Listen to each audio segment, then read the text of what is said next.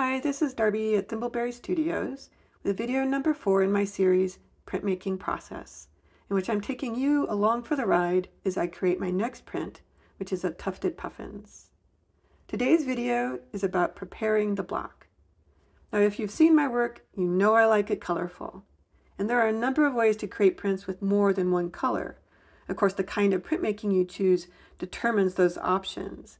These days, I'm mainly creating relief prints, which means I carve into a block and print off that block. The carving creates higher and lower levels. So when I roll ink on the block, hopefully the ink is only going on the high part and that's the only part that gets printed. For a block, you can use all kinds of things. Here's some possible substrates. These days, I tend to use either Gomu or Battleship Gray Linoleum. Battleship Gray Linoleum is what I use for my Thrush and Thimbleberry print, which you see here. It's got two colors. And for this print, I, print, I carved out two blocks. One block is for the blue, which I printed here. And then on the same paper, you can see me printing the second block, which just prints the red. This is called multi-block printmaking.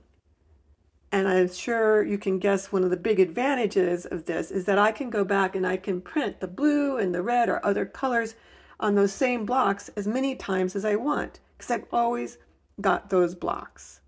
Once I've carved those blocks, they stay looking like that for the most part.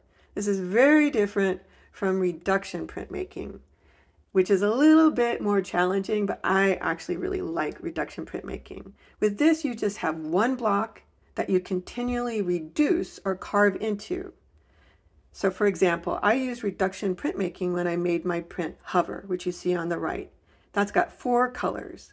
I didn't have four blocks. I just had the block that you see on the left. And this is what the block looked like at the end when I printed the last color, which was the dark blue.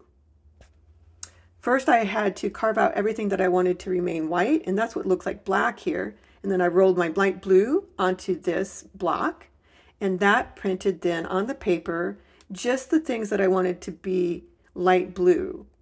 And then I carved some more to then uh, get a medium blue so, and then to get the rust. And here I am carving out everything that I want, every place that I want the rust to remain. And only thing that's going to remain on this block is are the places where I want dark blue. So as you can see on the left, I could go back. I've still got the two blocks that I need for Thimbleberry Thrush. I can print that as many times as I want on different papers, but I can never go back and print hover again because I've destroyed the block or reduced it. I'm going to use reduction printmaking when I make my next print, the tufted puffin print. And here I'm going to show you how I get my block ready. I'm going to use Gomu again because I really like the crisp lines I get when I carve in that. And here I'm, I'm cutting it down to the 8 by 10 size of the image make sure that I've got it right. And then I always glue my blocks onto wood, and I'll explain more about that in my next video. It has to do with my registration system, as it's called. I have to be sure to cover the whole block with, with glue everywhere, and then I attach it to the board, and I put all of that under weight so that everything can dry, solid, attached to each other.